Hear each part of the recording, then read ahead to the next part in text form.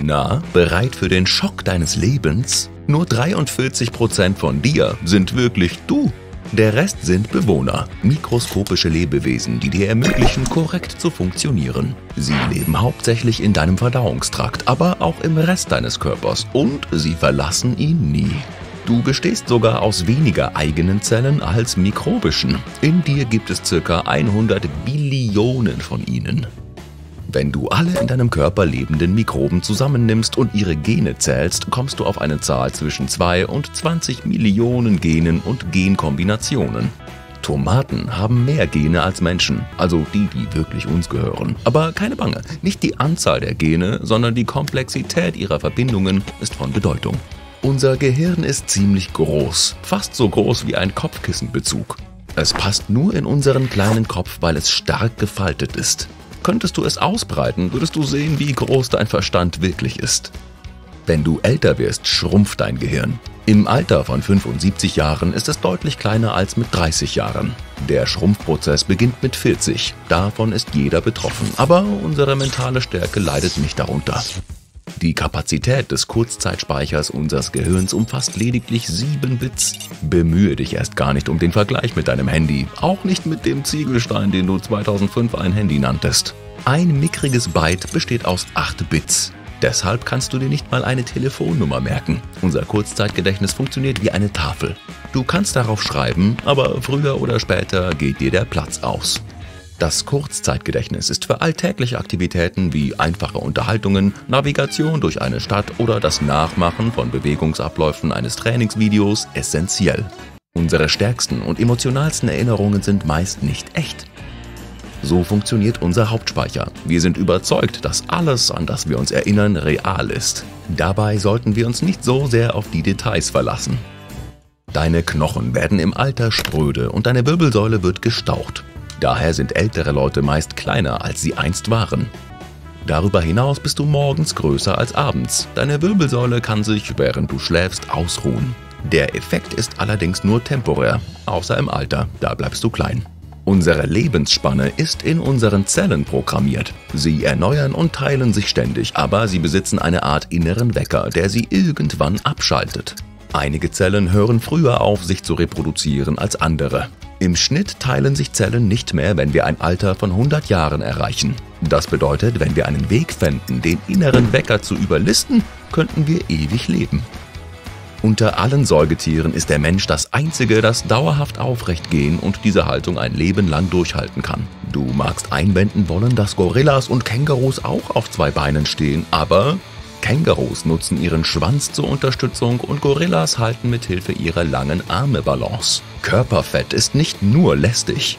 Es isoliert, speichert Energie und dämpft Stöße. Das meiste Fett wird an der Hüfte angelagert, weil dort die lebenswichtigen Organe geschützt werden müssen. Das Fett kann dich vor irreparablen Schäden bewahren. Deine Knochen nehmen ebenfalls am Stoffwechsel teil. Sie bestehen vorrangig aus Calcium. Besteht im Blut ein Mangel an diesem Element, geben die Knochen es in den Blutstrom ab. Umgekehrt nehmen sie Calcium auf, wenn zu viel davon im Blut enthalten ist. Sie heben es für schlechte Zeiten auf. Dein Schädel besteht aus 28 Knochen. Die meisten davon sind verwachsen, um dein Gehirn zu schützen. Die Mandibel oder auch der Unterkiefer ist dabei der einzige Knochen, der nur durch Gewebe und Bänder mit dem Kopf verbunden ist. Der kleinste Knochen deines Körpers befindet sich in deinem Ohr. Er heißt Steigbügel und ist gerade einmal so groß wie ein Reiskorn. Der einzige Knochen mit Humor befindet sich in deinem Oberarm. Deswegen nennen wir ihn Humerus. Natürlich nicht. Weiter geht's. Die stärksten Muskeln deines Körpers befinden sich nicht in deinen Armen oder Beinen. Sie sind am Kopf. Masseter ist hauptverantwortlich für das Kauen. Um normal zu essen, muss er der stärkste Muskel sein. Und die Muskeln, mit denen du deine Ohren wackeln lassen kannst, das sind die Schläfenmuskeln. Sie sind ebenfalls am Kauvorgang beteiligt. Wir haben zwei wirklich verdammt schnelle Muskeln. Sie kontrollieren die Augenlider. Sie sind die schnellsten Muskeln im Körper. Augen sind sehr sensibel und benötigen Schutz. Wird der Reflex ausgelöst, schließen diese Muskeln die Augen in weniger als einer Zehntelsekunde. Man glaubte lange Zeit, dass ein Mensch über 10.000 Gerüche unterscheiden kann. Jüngste Untersuchungen zeigten aber, dass Menschen sogar mehr als eine Billion Gerüche differenzieren. Wir erinnern uns auch eher an Gerüche als an andere Dinge und sie können Erinnerungen hervorrufen. Wir erkennen nur lila-blaue, grün-gelbe und gelb-rote Farben.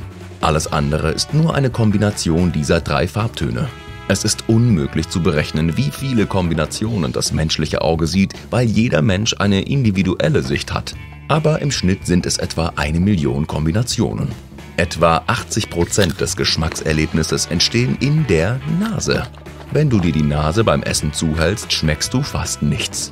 Du kannst kaum unterscheiden, ob du ein Stück Schokolade oder Räucherfisch im Mund hast. Wenn du schläfst, nimmst du keine Gerüche wahr. Dein Geruchssinn wird im Schlaf nämlich deaktiviert. Stinkt es in deinem Schlafzimmer ganz fürchterlich, juckt dich das vermutlich kaum. Fifi, du böser Hund. Deine Nase dient nicht nur zum Atmen und Gerüche wahrnehmen, sie filtert auch die Luft.